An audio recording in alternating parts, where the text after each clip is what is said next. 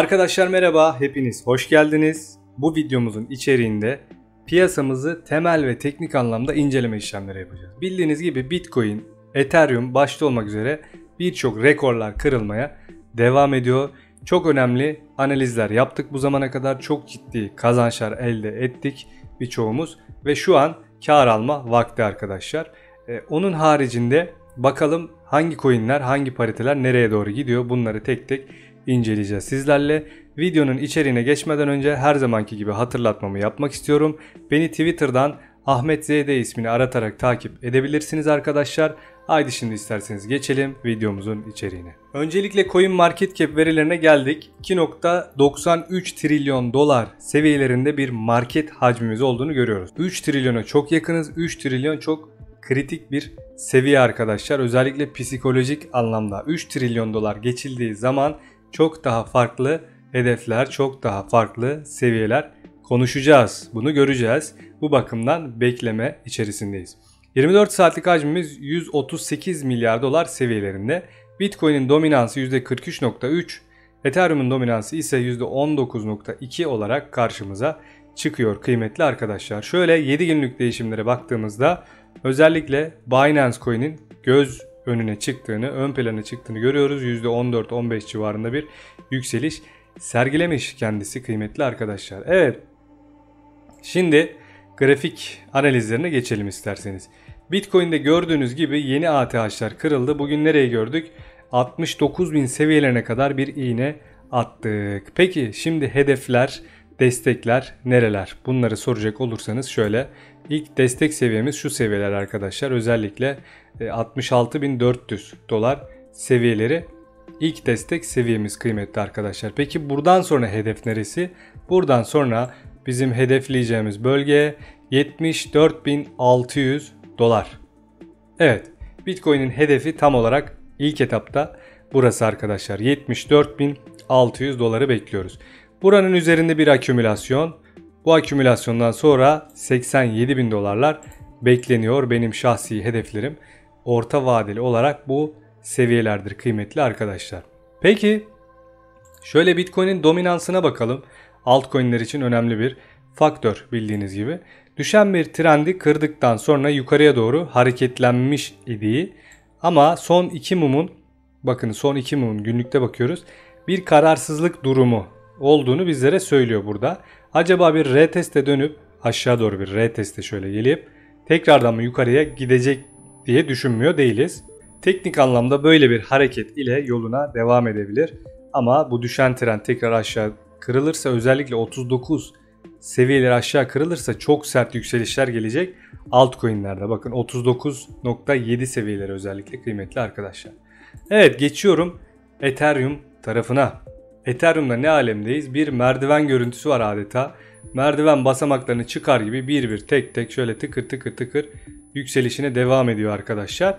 Hedefimiz hala 5100 dolar seviyesini seviyesi olarak güncelliğini koruyor. Peki destek neresi diye soracak olursanız özellikle bakın 4 taşta bu destekleri daha rahat görebiliriz. Şu an bu fiyata göre bizim destek seviyemiz şuradaki bölüm arkadaşlar. Tam olarak 4670 dolar seviyeleri destek seviyeleri olarak karşımıza çıkıyor. Burası kısa vadeli. Onun altında eğer sarkacak olursa bir sonraki seviyede tam olarak 4420 dolar seviyeleridir. Buralar kısa vadeli en fazla dönebileceği bölgeler bana göre. Buradan gelir en fazla böyle bir hareket kısa vadeli tekrar devam eder diye düşünüyorum. Özellikle Bitcoin'de çok sert bir hareket olmaz ise. Evet şimdi geçiyorum. Solana'ya bir bakalım. Kısa vadeli şöyle hemen hedeflerimiz nereler? Aslında Solana'da bir e, negatif görüntü oluşuyor gibi kıymetli arkadaşlar. Şöyle bakacak olursanız bakınız obo görüntüsü oluşuyor gibi. Yani solumuz, baş, sağ omuz oluşmak üzere. Buradan tabi böyle bir durum olursa kırılım neticesinde aşağı doğru yani şu seviyelere kadar bir iniş gelebilir. Orası da 214 seviyeleri 214 dolar seviyeleri olarak gözümüze çarpıyor. Şurası geçilir ise özellikle 250 e, dolar seviyelerin üzerine tekrardan atar ise buralarda kalırsa o zaman bozulur deriz arkadaşlar bu formasyon. Fakat şu an böyle bir görüntü var. Bakalım izleyelim. 230 dolar seviyeleri destek. Güzel bir destek. Bu seviyelerin altına kırmamalı Solana. Kırdığı an bu formasyon çalışma e, eğilimine girecektir. Geçelim yine e, sıkı takip ettiğimiz sizlerin de çok sorduğu bir diğer projemiz. Blocktopia kıymetli arkadaşlar. Blocktopia'da e, bir akümülasyon süreci devam ediyor. Bir desteğe oturmuşluk görüntüsü var arkadaşlar. 0.075 dolar seviyeleri güzel bir destek olarak çalışmasına devam ediyor. Bakınız burada defalarca burada burada çalışma operasyonu yapmış. Öyle söyleyelim. Olur da burası aşağı yönlü kırılırsa aşağıda güzel bir destek daha var aslında. 0.067 dolar seviyeleri. Yani şöyle bir hareket yapabilir. Olur da gelir burada oturursa buradan tekrardan bir dönüş işlemi yapabilir. Bildiğiniz gibi şu an e, bir düzeltme süreci yaşıyor. Yani çok sert yükselmeler yaptı ve bir satış baskısı var üzerinde. Bu arada bir toplama operasyonundan sonra tekrardan yükselişine devam edebileceğini ben düşünüyorum Blocktopia'nın. Çünkü proje anlamında çok çok iyi bir proje ve daha çok yolunun olduğunu düşünüyorum. Evet. Şimdi gelelim Dogecoin'e arkadaşlar. Dogecoin'de ne alemdeyiz? 4 açta gördüğünüz gibi trendimiz hala devam ediyor. Bir yukarı bir aşağı haber beklentisi içerisinde bulunuyor Dogecoin kıymetli arkadaşlar. Şu kırmızı çizgimiz önemli bir trend çizgisi bak. Bunun altındaki mum kapanışları stop sebebi olacak. 0.26 dolar seviyelerine denk geliyor şu anki e, yükselen trendimizin destek bölgesi. Bunun altındaki kapanışlarda dediğim gibi stop işlemi gerçekleştirilmeli, riske girilmemeli. Fakat tabii ki bu kısa vadeli hedef tutanlar için uzun vadeli bu hedefler değişiklik gösterecektir. Orası ayrı bir konu. Bunu da söylemiş olalım. Uzun vadeli bizim beklentilerimiz bu trendi takip ederek yukarıda ATH'ı getirmesi. Özellikle Elon Musk tarafından e, önemli şillemeler bekliyoruz. Önemli haberler bekliyoruz. Bakalım Dogecoin ile alakalı sizlere daha önceden de güzel videolar çektim arkadaşlar. Onları da kanalıma, sayfama girerek izleyebilirsiniz. Pekala geçiyorum. Şöyle SLP'ye bakalım. SLP'de bir değişiklik var mı? SLP'de herhangi bir değişiklik yok arkadaşlar. Ee, o haberden sonra bir satış baskısı altında tekrardan akümülasyon bölgesine geri döndü. Destek, ana destek bölgesi 0.0 57 dolar seviyeleri olarak güncelliğini korumakta. Hala ilk hedefimiz 0.13. Zaten ilk hedefimiz geldi de buradan sonraki hedef yine aynı şekilde orasıdır kıymetli dostlar.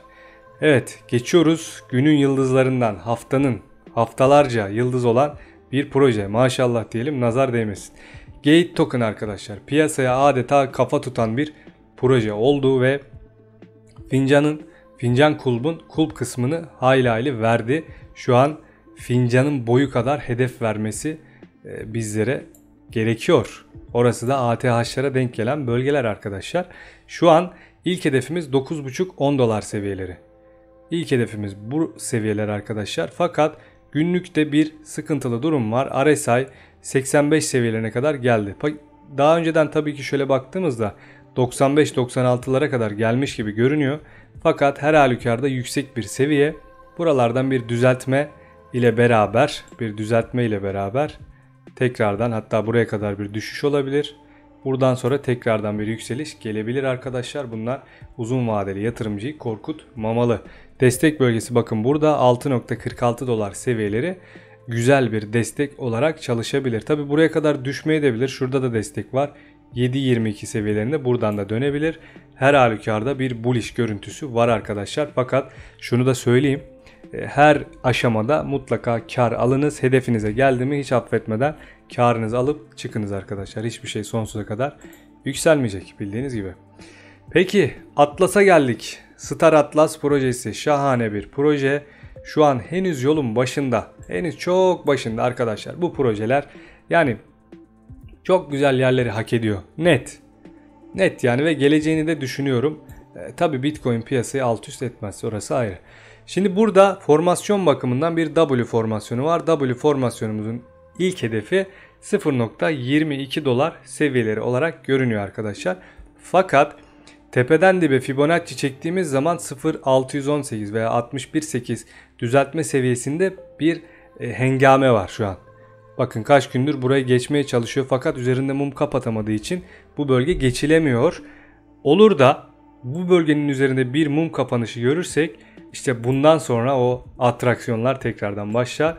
Bu söylediğim hedefte bir oyalanma tekrar buradan bir red tekrar üzerine çıkarsak işte o zaman seyredin siz şovu diyelim arkadaşlar Star Atlas açısından. Çünkü güzel bir proje ve hacimsiz. Yani ben şöyle mukayese ediyorum. Tabi komünite de çok önemli de. Mesela Exile Infinite arkadaşlar. Tamam güzel bir oyun. Ee, komünitesi yüksek ama görseller işte vaat ettikleri vesaire baktığınız zaman Star Atlas yani kaç kumaş önde gidiyor bana göre. Orası ayrı. E bir de hacimlere bakarsanız Exile Infinite 9 milyar dolarlarda. Star Atlas nerelerde yani isterseniz şöyle bakalım. Star Atlas'ın e, hacmi ne? Hemen şöyle. Evet Star Atlas yazdık. 400 milyar dolar şey 400 milyon dolar arkadaş. Yani taş çatlasa en kötü bunun yani 1 milyar doları var da en kötü o da yani. E buradan zaten ne yapar? iki katından fazla e, yapar kıymetli arkadaşlar. 2-3 kat yapar neredeyse. E, bu da bizlere önemli e, şeyleri işaret ediyor aslında baktığınızda. Evet güzel bir proje. iyi yerleri hak eden bir proje. Belki de Exile Infinity falan çok çok geride bırakacak bırakma potansiyeli var. Benim cüzdanımda bulunuyor. Yatırım tavsiyesi vermiyorum kesinlikle. E, bunu da söylemiş olalım arkadaşlar. Evet ne bakalım bir de Yine beğendiğim ve iyi yerlere gelebileceğini düşündüğüm projelerden bir tanesi hangisiydi? Pangolin. Bir DEX borsasının yani merkeziyetsiz bir borsanın token'ı arkadaşlar. Evet şöyle baktığınız zaman çok çok çok derin düşüşler yaşamış. Tabii ki bu düşüşlerin arkasında arz problemi var. Fakat son dönemlerdeki bu düşüş oldukça dip seviyelerdeyiz dedirtiyor. Bakın bir de güzel bir e, durum var. Şurada çok önemli bir direnç seviyesi geçilmiş. Şöyle görüyor musunuz? Yani 1.79 dolar seviyeleri. Buranın geçilmesi şahane. Bal kaymak. Peki şimdi ne olur? Şimdi ne olabilir? Öncelikle şu trendi bir kırmamız lazım. Bu trendi kırdığımızda muhtemelen şu bölgelerden bir red operasyonu olacak. Yani 2.28 dolarlardan bir red, tekrar bir retest, buradan bir hareket gelebilir. Çünkü bu seviyede Şöyle bakarsanız önemli bir yine direnç bölgesi var arkadaşlar. Şöyle hemen size hızlı bir şekilde göstermek istiyorum. Şu seviye önemli bir direnç seviyesi. Buranın kırılması şart. Burası kırılır ise neresi biliyor musunuz arkadaşlar? Buranın üzerinde kalırsak şöyle bir hareket tak 4.5. Buradan sonra hedef seviyesi 4.5 dolar olur. Burası da 61.8'e denk gelen bölgedir. Buradan kar almak gerekir. burası da geçilirse sırasıyla 6.8 dolar ve devamını söylemeyin FOMO olmayalım. Peki. Evet arkadaşlar şimdilik bu kadar olsun. Çok fazla uzatmayalım videomuzu. Beni dinlediğiniz için çok teşekkür ediyorum. Videoyu beğendiyseniz beğeni tuşuna basabilir ve kanala abone olabilirsiniz kıymetli arkadaşlar. Şimdilik kendinize çok iyi bakın. Bir sonraki videoda görüşmek üzere.